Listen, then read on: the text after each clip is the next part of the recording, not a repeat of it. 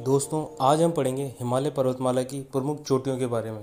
हिमालय की जितनी भी चोटियाँ हैं, उनको आज हम क्रम अनुसार पढ़ेंगे। और मेरे द्वारा जो ट्रिक बताई गई है, वो एकदम इस तरीके से बताई गई कि सबसे ऊँची चोटी, फिर उसके बाद उससे छोटी उससे छोटी। मतलब एकदम क्रम के अनुसार बताई गई है। आप अगर इस ट्रिक को याद कर लेते हो और आपके एग्ज़ाम में अगर कोई क्वेश्चन आ जाता है तो आप कभी भी मिस नहीं करोगे।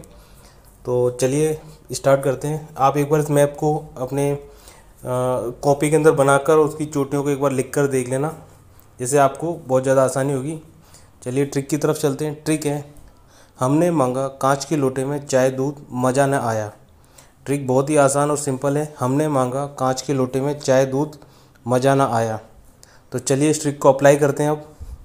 हमने हमने हो जाएगा हिमालय पर्वतमाला। ये जितनी भी चोटियाँ पड़ रही हैं, हिमालय पर्वतमाला की है है ना? हमने से हो जाएगा हिमालय पर्वतमाला, माँ से हो जाएगा माउंट एवरेस्ट, जो कि है आठ हज़ार आठ सौ अड़तालीस मीटर, इसकी ऊंचाई है।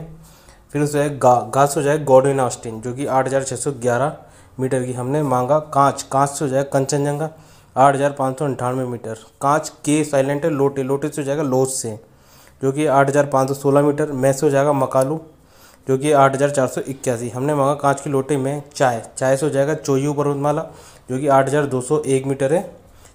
चीन में स्थित है। दूध दूध से हो जाएगा धौलागिरी पर्वतमाला। आठ हज़ार एक सौ बहत्तर मीटर। मजास हो जाएगा मनासलू पर्वतमाला। आठ हज़ार एक सौ तिरसठ मीटर है। और नैस हो जाएगा नंगा पर्वत। आठ हज़ार एक सौ छब्बीस मीटर है। मज़ा न आया आया से हो जाएगा अन्नपूर्णा, जो कि आठ हज़ार इक्यानवे मीटर की है। तो ये ट्रिक के एकदम क्रम के अनुसार है। हमने मांगा कांच के लोटे में चाय, दूध, मज़ा न आया। ट्रिक को ध्यान से पढ़ लेना। आपके एग्ज़ाम में कभी भी कोई क्वेश्चन मिस नहीं होगा। तो आशा करता हूँ आपको ये वीडियो अच्छा लगा होगा। अगर आपको ये वीडियो अच्छा लगा तो वीडियो को लाइक करें, चैनल को सब्सक्राइब करें और वीडियो को अपने दोस्तों के साथ शेयर करें। तो मिलते हैं नेक्स्ट वीडियो में। धन्यवाद।